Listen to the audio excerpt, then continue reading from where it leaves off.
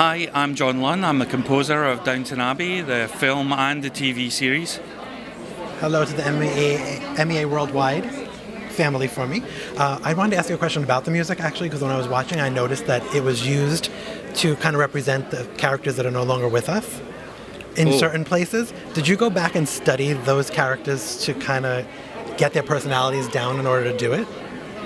I, I did actually before I started working the movie. I went back and watched all six seasons over a period of about three months, just to remind myself, you know, because it was ten years ago we, we actually started work on it, and so um, I the, the the music's m- a lot more about the ca- the relationships between characters than it is about individual characters in the movie.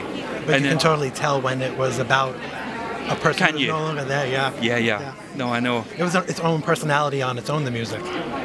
Yeah, I, I mean, I, I think that's, I mean, I, I don't know how that's happened, but it has happened. I, I'm aware of it, you know, because um, we, we had a test screening in Los Angeles uh, while they were filming, and they just used some music from my TV series for the beginning. And when it first came, the tune first came in, um, uh, not the final version we ended up, you know, recording.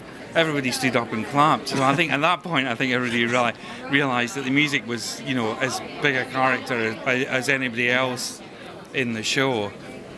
And and to be fair to you know everybody, the director and the producer, I think they've all taken that on board. And you know, I, I've had some great opportunities to write the music for it. You know, the the, the, the first four minutes of the film are is all music.